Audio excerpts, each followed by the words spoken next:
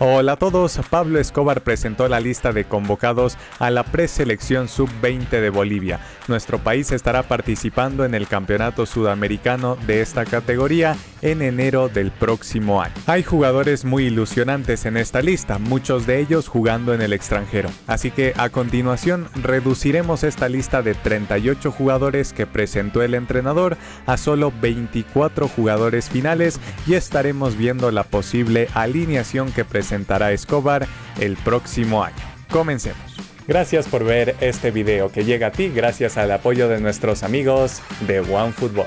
OneFootball es una aplicación totalmente gratuita que te permitirá seguir todas las noticias, horarios y estadísticas del Mundial 2022. Con OneFootball podrás seguir a tus selecciones favoritas y tendrás toda la información que necesitas para no perderte nada de lo que suceda en Qatar. Sin dudas, OneFootball es la mejor aplicación diseñada para verdaderos fanáticos del Mundial. Descárgala gratis con el link que te dejo en la descripción.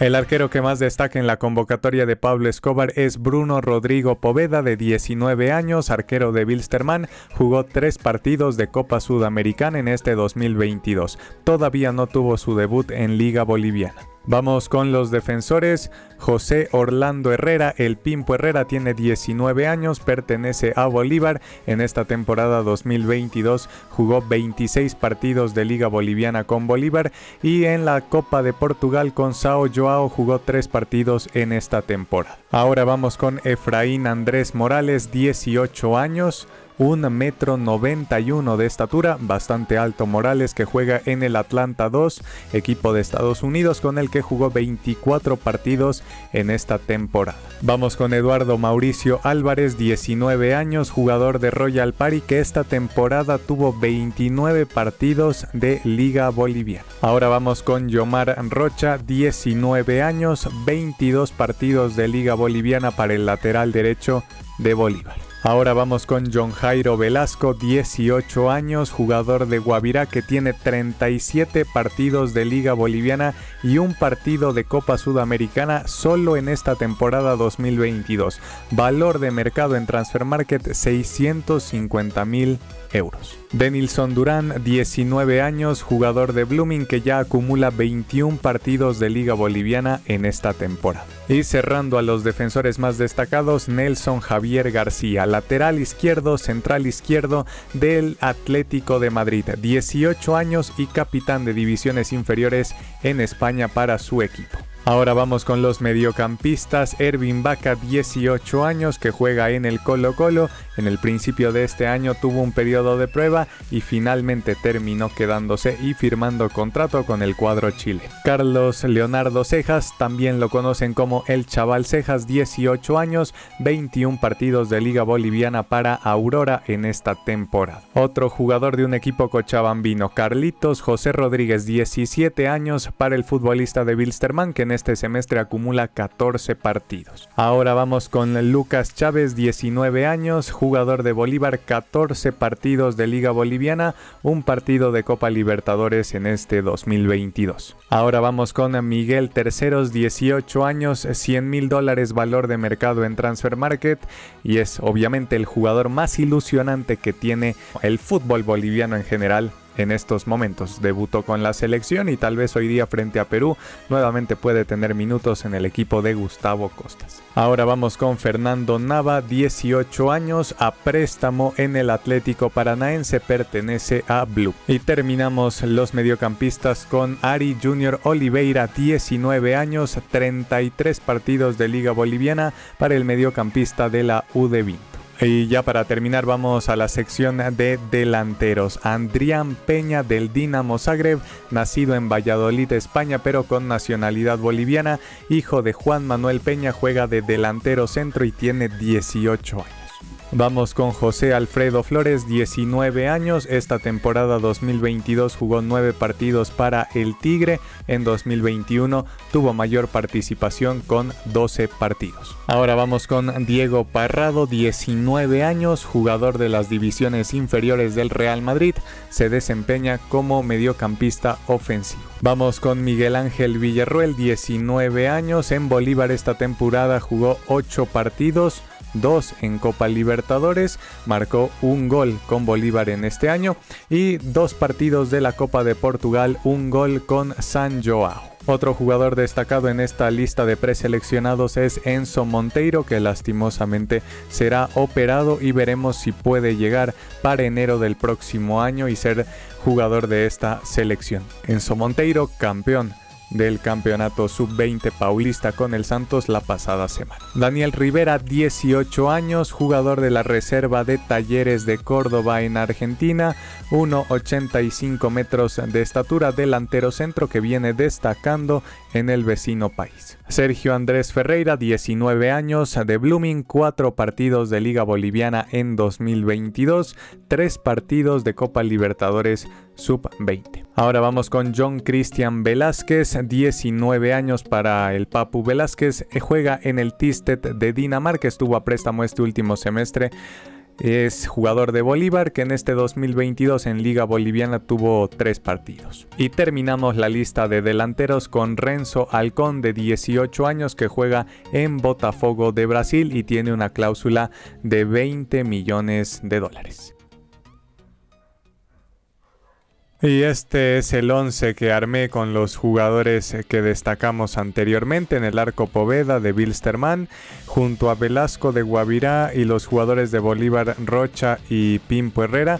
Son solo cuatro jugadores que estarían en la liga boliviana. Eh, Velasco, el más experimentado de ellos, con casi 40 partidos en esta temporada. Pimpo Herrera también, más de 20 partidos. Rocha, bueno, 20 partidos, también es una buena experiencia la que tuvo este 2022. Y Poveda jugó Copa Sudamericana con Bilsterman, pero no pudo jugar partidos de liga. Después, el resto del equipo, jugadores internacionales. García, defensor del Atlético de Madrid. Dijimos que puede jugar como lateral por izquierdo, también central por izquierda, así que lo utilizaría en esa posición. Después tienes a Efraín Morales del Atlanta 2 de Estados Unidos, ha jugado más de 20 partidos esta temporada. También habrá que ver si esa estatura que tiene le permite ser un, un gran aporte en el juego aéreo para nuestra selección, más de 1.90 y obviamente Yomar Rocha como lateral derecho. Después en ese medio campo, Pimpo Herrera de Bolívar, mediocampista defensivo, Sago lo utilizaba como central en varias oportunidades, pero creo que jugando un poquito más adelante tal vez le puede ir un poco mejor. En el medio campo tendríamos a jugadores bastante ofensivos como Miguel Terceros y Ervin Vaca de Colo Colo. Ambos jugadores también tendrán que mejorar un poquito la faceta defensiva porque obviamente tienen condiciones para atacar, principalmente Miguel Terceros, pero tal vez en defensa les falta ese trabajo más físico, más táctico para saber dónde posicionarse. Así que creo que es algo en lo que tendrá que trabajar Pablo Escobar porque si quieres utilizar a todo el potencial ofensivo que tienen estos jugadores, también habrá que enseñarles y hacer que mejoren en el trabajo defensivo. Un poquito más adelante, Diego Parrado, que podría tener su debut, al igual que García, en una selección juvenil boliviana. Ambos futbolistas en España nunca estuvieron en Bolivia, son, bueno, tienen familiares bolivianos, pero nunca estuvieron en Bolivia, así que sería muy interesante ver debutar a García y principalmente a Parrado en esta selección sub-20 el próximo mes de enero. Dicen que es un mediocampista ofensivo, así que habrá que ver si puede funcionar junto a otros jugadores de ese perfil similar como Miguel Terceros, como Ervin Vaca. Habrá que ver cómo los hace funcionar Pablo Escobar y habrá que ver si encuentra un sistema donde todos puedan jugar. Aquí sin saber mucho de Parrado o de Ervin Vaca estamos armando una alineación. Habrá que ver si mm, verdaderamente en la realidad esto es posible y si todos pueden jugar de manera conjunta y puede existir esa química y no se terminan estorbando Miguel Terceros y Parrado. Eh, bendito problema el que tiene Pablo Escobar entre elegir a, un jugador del Real Madrid y otro que juega en el Santos y está destacando de manera brutal.